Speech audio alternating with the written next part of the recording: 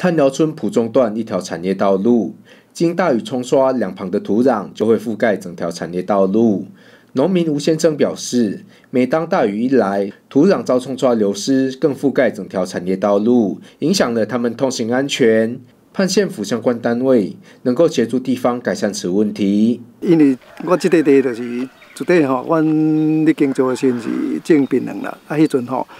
迄个槟榔的根。真白，所以土壤都袂去流失哩，啊，袂影响着路。啊，自旧年青啊错掉了吼，啊，即摆落雨拢非非常的大，啊，变做讲连路嘛无法度行，啊，所以才拜托咱，甲咱即个议员定情吼，看法度甲咱处理即条路，啊，互咱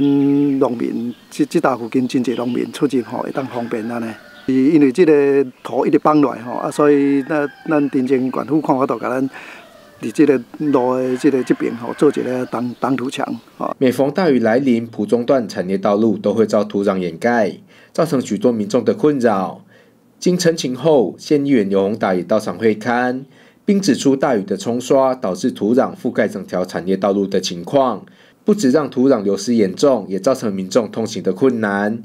也呼吁县府相关单位能够紧速改善。啊，咱即摆暂停咱即个雨水基进前吼，啊，咱的农民来定情，会当来将咱即个产业道路的这边啊，即个挡土墙吼，来甲伊做坚固，过去才有遮个青啊园吼，啊，青啊根会挽着咱即个啊，即个土壤，所以讲这土壤不袂去崩落吼，啊，即摆已经青啊拢已经翻掉啊，所以讲咱即摆预防讲雨水期来时阵，水若挂落，互咱这挡土墙袂来。啊，地来咱的这个产业道路吼，互咱的农民造成不便，啊，咱这措施非常的重要吼，这是咱主要咱农民的这个